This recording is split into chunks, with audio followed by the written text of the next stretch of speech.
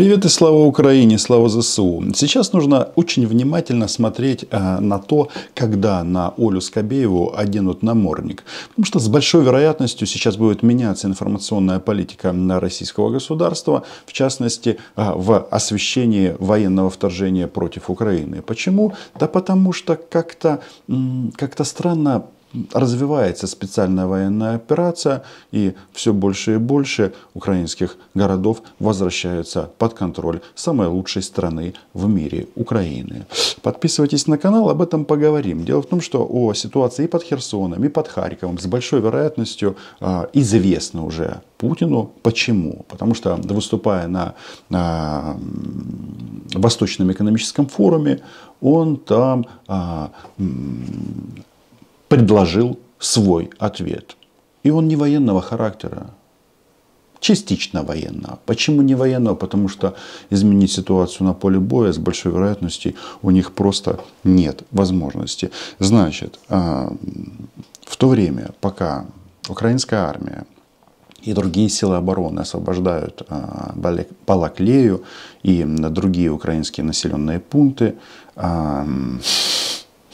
Путин угрожает остановить так называемую зерновую сделку, которая предполагает экспорт зерна а, из Украины, соответственно, на мировые рынки. И когда этот, а, Владимир Владимирович использует такие словосочетания а, «нас грубо надули», «грубо кинули», то, слыша эти слова, я сразу хочу сказать, блин, так это уже было.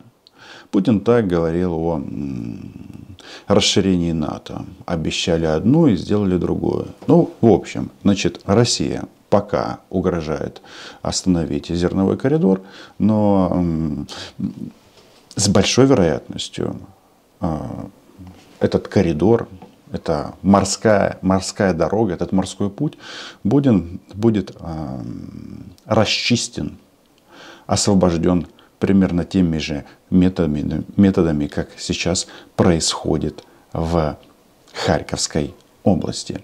Вообще я вам хочу сказать, а, российские комментаторы, вы знаете, на что они больше всего обижаются?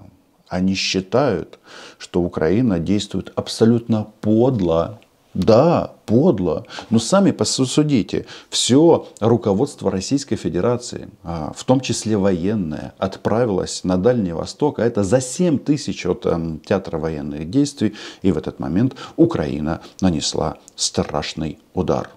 Да, вооруженные силы Украины идут вам. Читаешь российские источники, но это просто какое-то, знаете, какой-то скулеж на, эм, даже не на болотах, они тут э, требуют от военного руководства начать воевать по-настоящему. Мы не можем воевать в полсилу и так далее, и так далее. Хочется сказать, а вы что, воюете не в, пол, не в полную силу? Россия воюет в полную силу. Вот это и есть полная сила России. Нет других опций. Нет, ну конечно, можно э, вставить в Олю э, новую кассету, и она снова будет кричать э, женскими или мужскими голосами слово «радиоактивный пепел». Но это не работает. Главное на Земле, значит, еще раз, подчеркиваю, я читаю или цитирую местами исключительно российские источники. Значит, северную дорогу на Купинск Украина взяла под огневой контроль. Значит, ночью шли бои у Волхова Яра. А, значит, и э, они предполагают, что этот э, поселок уже захвачен Украиной, ну, в их понимании захвачен, в нашем освобожден. Значит, Балаклея в оперативном окружении, и Украина, украинская армия продолжает наступление на Купенск. Таким образом, отрезается ли и Балаклея, и Изюм.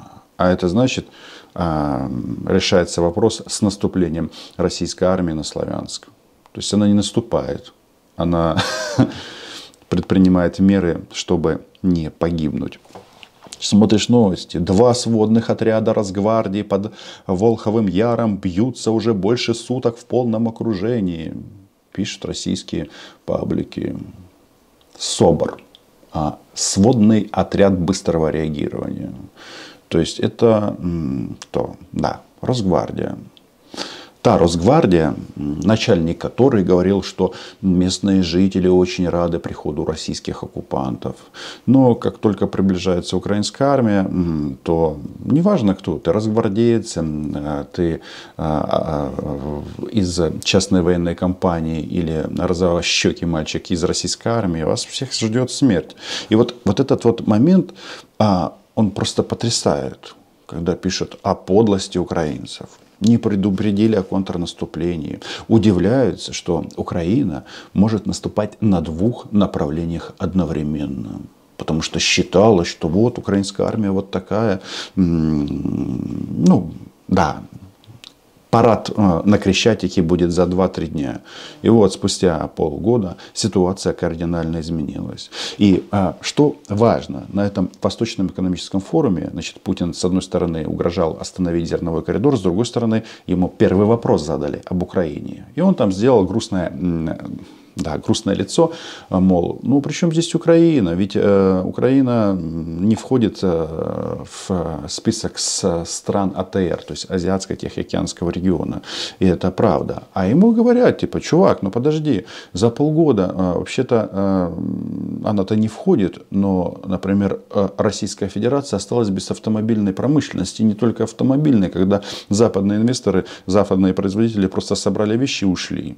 Вот так вот. И вопрос звучал, что Россия а, потеряла и приобрела за полгода войны. И вот ответ Путина, он такой, знаете, растерянный. Ну правда. Ну как можно сказать, что Россия ничего не потеряла за это время? Да?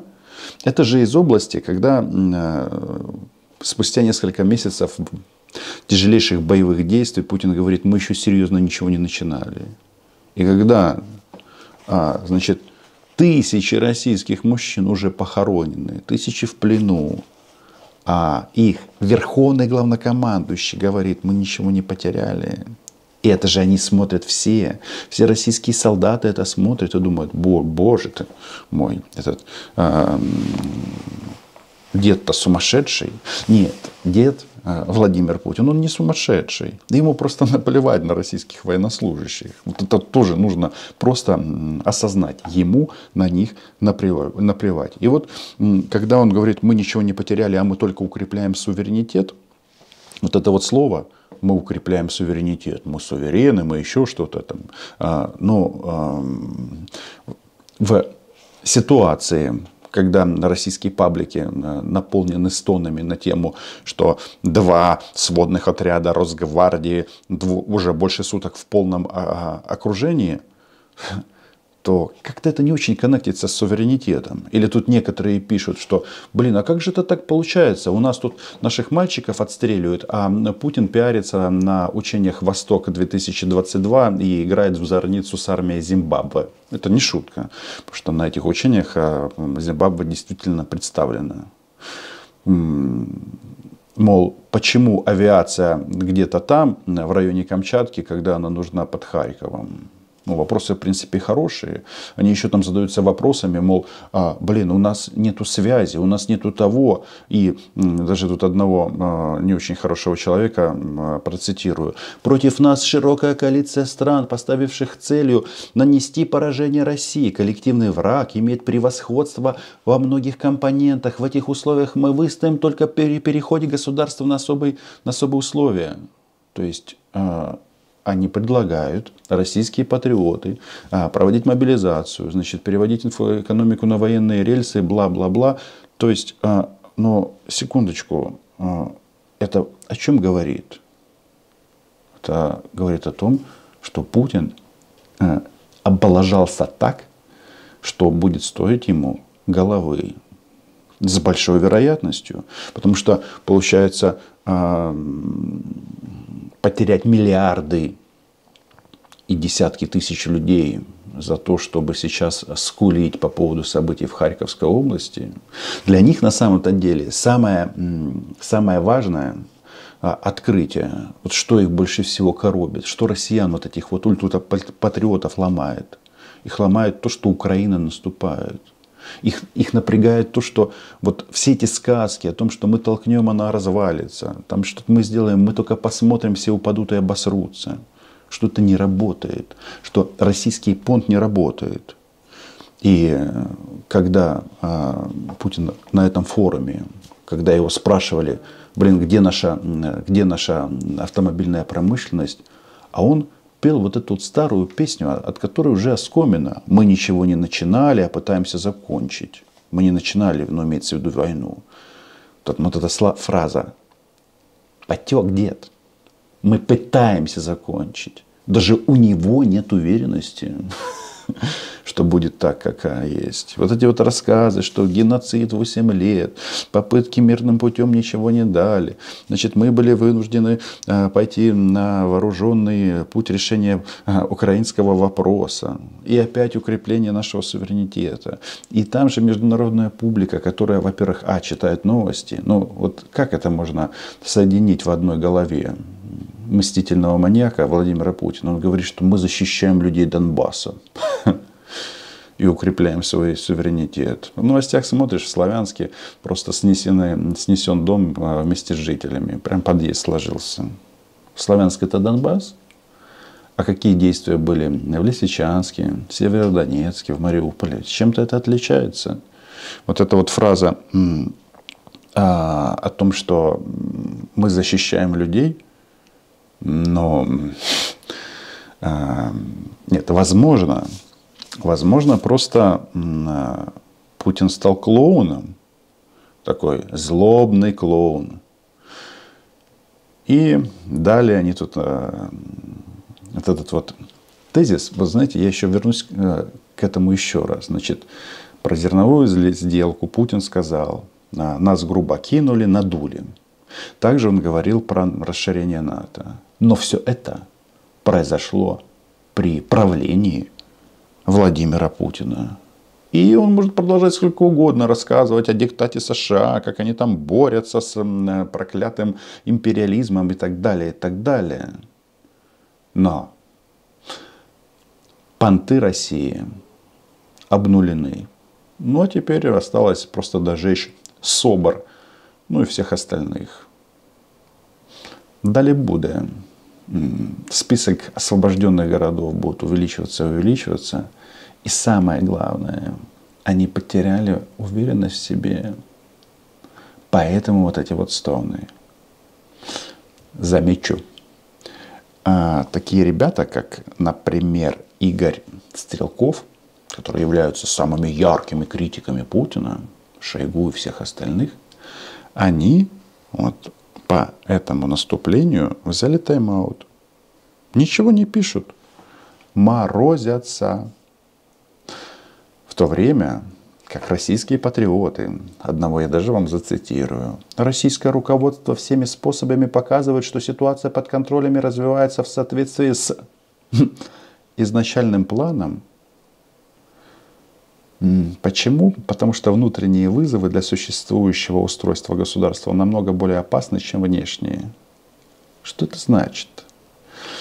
Проигранная война для вертикали власти не так опасна, как потеря лояльности и доверия российской бюрократии. Это правда. Проигранная война. Что это за лексика? Еще раз, это пишут российские патриоты. М-м-м. Подписывайтесь на канал, лайки, репости, Patreon. Україна була, є і буде.